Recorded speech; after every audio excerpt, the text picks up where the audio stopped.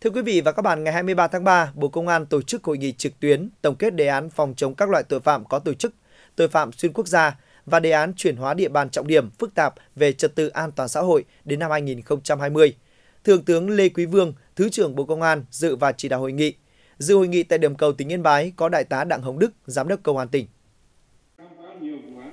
Thực hiện đề án phòng chống các loại tội phạm có tổ chức, tội phạm xuyên quốc gia và đề án chuyển hóa địa bàn trọng điểm phức tạp về trật tự an toàn xã hội đến năm 2020.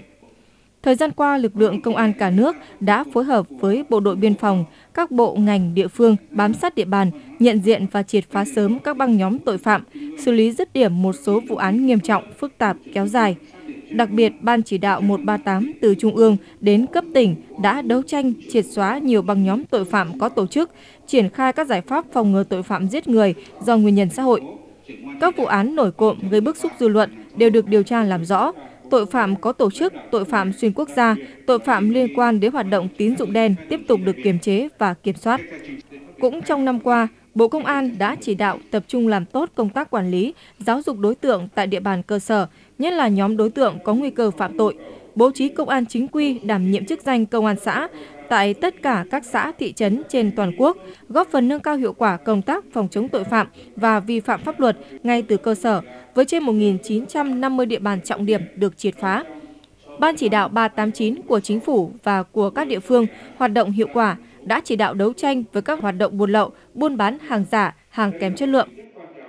Phát biểu chỉ đạo hội nghị, Thượng tướng Lê Quý Vương, Thứ trưởng Bộ Công an ghi nhận, biểu dương những nỗ lực của lực lượng công an trong quá trình thực hiện hai đề án. Nhận định giai đoạn 2021-2025, tình hình tội phạm tiếp tục diễn biến phức tạp với thủ đoạn ngày càng tinh vi, liều lĩnh. Vì vậy, Thứ trưởng Bộ Công an yêu cầu các đơn vị cần thực hiện hiệu quả hai đề án.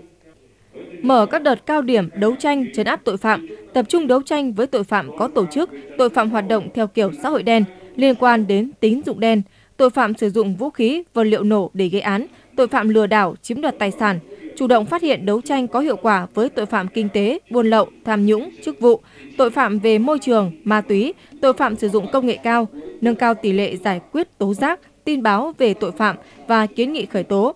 Tiếp tục triển khai cao điểm vận động toàn dân giao nộp vũ khí, vật liệu nổ, nâng cao hiệu quả hoạt động của công an xã để giải quyết vấn đề ngay từ khi mới phát sinh ở cơ sở.